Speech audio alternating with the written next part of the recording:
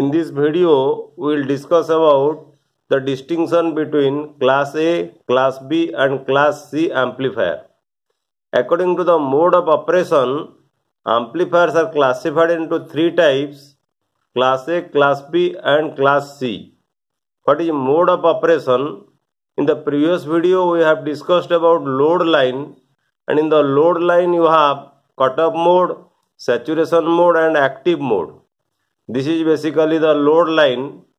You uh, watch the previous video then you can know about the load line. And in the load line you have a operating point.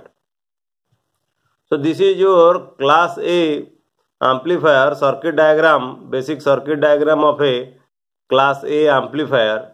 In the class a amplifier you see this is the input signal. Signal given in the input and this is the output signal in the amplifier.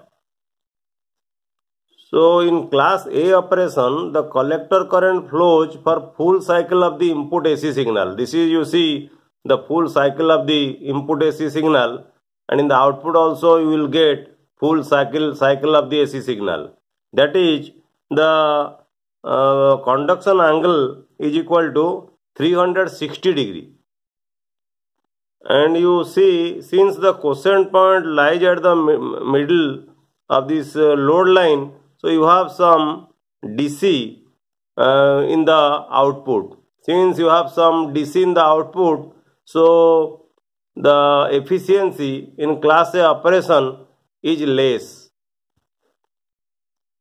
And this is the circuit diagram for class B amplifier and class B amplifier is also called push-pull amplifier and in this amplifier the collector current flows for half cycle of the input AC signal. You see this is the input AC signal and this is the output signal and uh, the collector current flows for half cycle of the AC signal and here you see the Q point is here.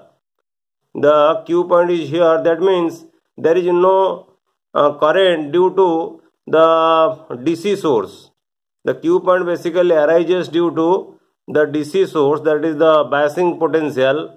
So there is no current flow due to the DC source. That is why in this case the efficiency is more. In case of class B operation amplifier the efficiency is more as compared to class A amplifier. That is why in class B amplifier the conduction angle is 180 degree. That is half cycle. The you see the half cycle of conduction. So conduction angle is uh, 180 degree. And this is the circuit diagram for your uh, class C amplifier. And you see in case of class C amplifier you have the Q point here. That means the collector current flows for less than half cycle of the AC signal. This is your AC signal and this is your output current. So collector current flows for less than half cycle of this AC signal. And here the conduction angle is less than 100 180 degree.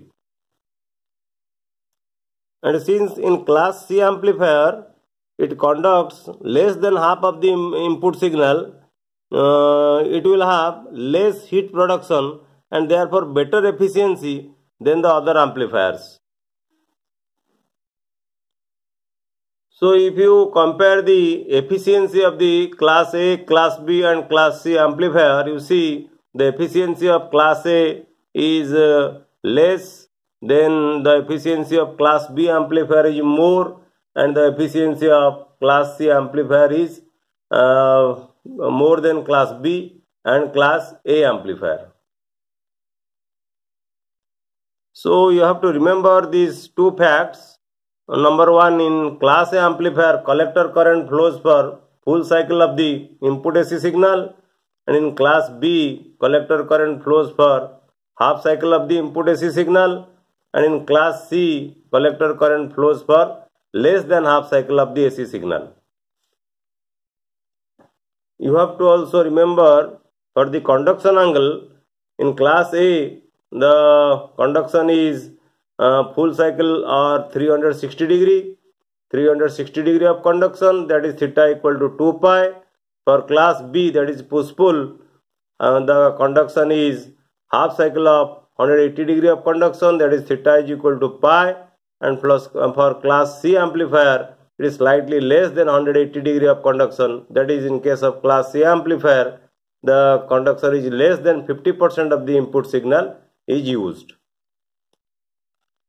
so question will come distinguish between class A, class B and class C amplifier and uh, discuss about class B push-pull amplifier with a circuit diagram. So in the next video we will discuss about class B push pull amplifier thank you